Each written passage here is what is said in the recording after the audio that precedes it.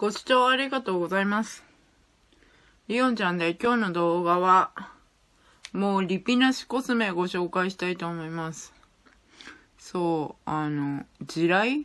地雷さんメイクをね、ちょっとね、目だけ練習したんで、もうちょっとね、落ち着いた、当日はもうもうちょっと落ち着いた色になるんじゃないかなと思うんですけど、やっぱりこういうがっつりした色じゃないと、まあインスタで見てる、見る子はこんぐらい色ががっつりした色をここに入れてるんだよね。もうちょっと落ち着いた、ちょっと人、ちょっと茶色っていう感じのね、もうちょっと、こう、アイラインを引く茶色で引いてるから、なんかがっつり感があるんだけど、当日はもうちょっと落ち着いたやつでいこうかと思っております。で、行こうか。まあ、あんまり商品はないんですけど、もうリピートしないな。うーんと、もうリピートしないなっていうのがあります。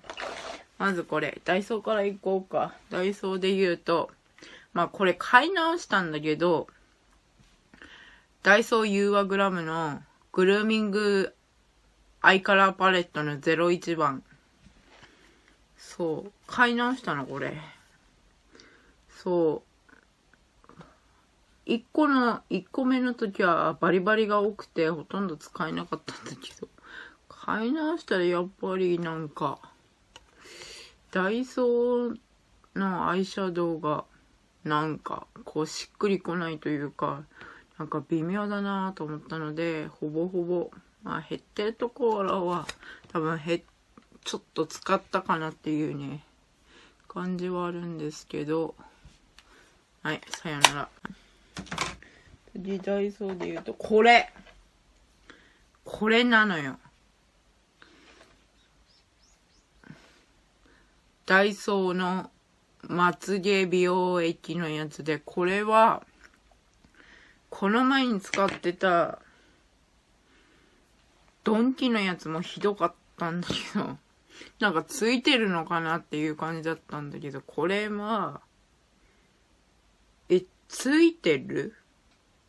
てんてんてんみたいな。そう。なんかさ、液液ついてる感がなくて、速攻で1ヶ月も使わないうちに、バイバイコスメ入りしました。次。ダイソーで言うと、そん、結構ダイソーコスメ多いんだけど、そう、お色味的には使いやすいんだけどね、ダイソーユーアグラムのベルベットアイカラーパレットの07番。そう。配色的には使いやすいお色味だったんだけど、突然ね、うーん、みたいな感じになっちゃったので、そう。可愛いんだけどね。バイバイっていうことで。これは完全に折れてしまっただけなんですけど、うんと、アンドの眉ペンシルのマルシンの02番 A っていうやつで、もう完全にね、これの細型を使っております。そう、この形はね、これはリピートしないんだけど、別のやつをリピートしてます。この、このアンドシリーズはね。次。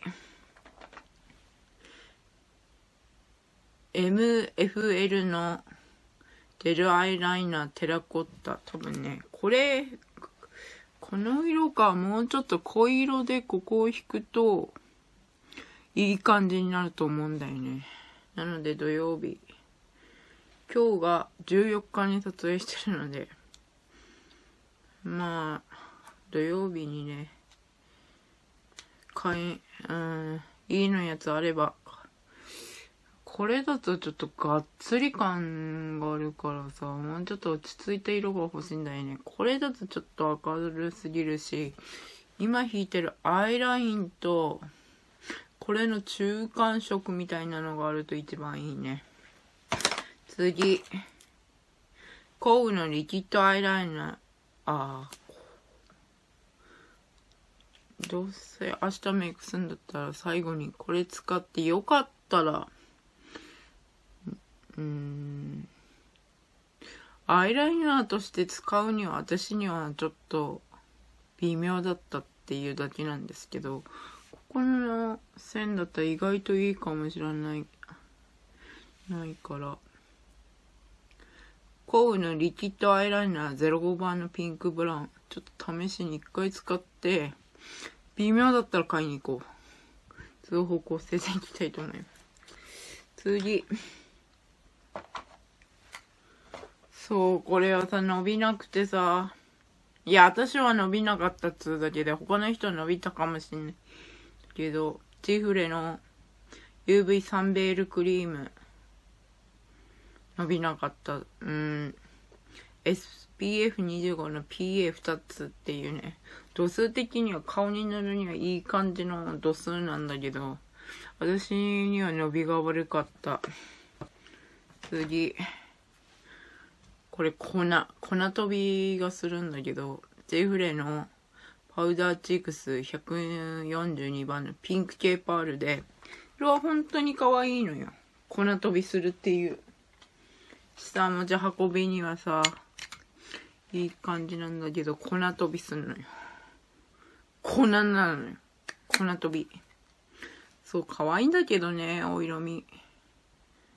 そう、もう一個これのオレンジ系は、縛りメイクを取ってからね、バイバイし、来年のリピなしコスメでご紹介するんですけど、最後が、あ、最後でもなかった後に変わった。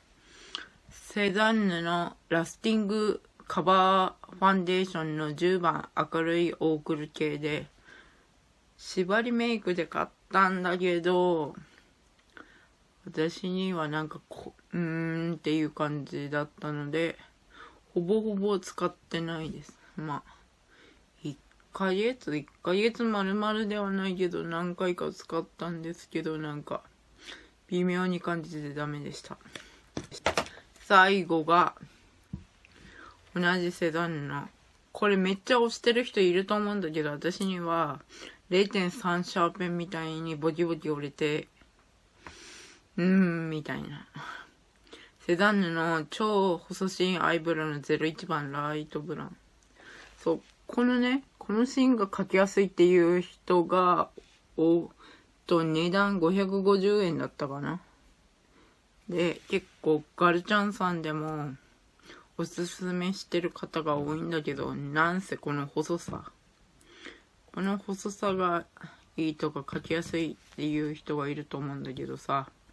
めっちゃ0.3みたいなさ、細、細芯が私にはダメでした。以上。以上で、今年の2023年の3年コスメをご紹介しました。ご視聴ありがとうございました。次の動画でまた会いましょう。バイバイ。